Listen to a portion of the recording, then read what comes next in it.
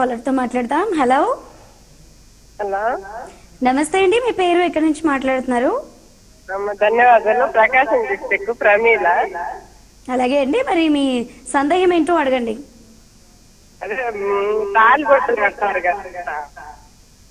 అడగండి.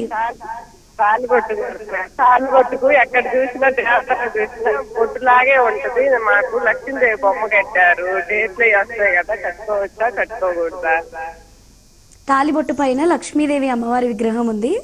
అది అశుచి సమయంలో ఉంచవచ్చా తీయవచ్చా అని అడుగుతున్నారు తాళిబొట్టు ఏదైతే ఉందో మాంగళ్య తంతున అనేన మమ జీవనహేతున కంఠే బధ్నామి శుభగే సా జీవ శరదాం శతం.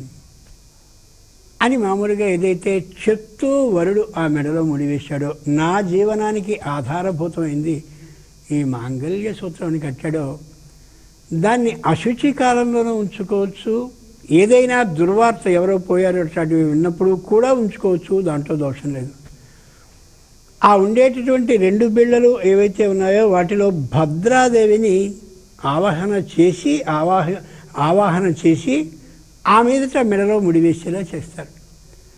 అంచేత ఏ విధమైన దోషము లేదు వాటిని ఉంచుకోవచ్చు. దాని మీద లక్ష్మీదేవి బొమ్మ ఉన్నా ఇంకో దైవానికి సంబంధించిన బొమ్మ ఉన్నా అసలు ఏం లేకుండా కేవలం బిళ్ళలుగానే ఉన్నా నేరం ఏం కాదు. చక్కగా అనుమానం లేకుండా వాటిని ధరించవచ్చు అశుచి కాలంలో తీయాలని నేమో ఏమాత్రమూ లేదు. అలాగే.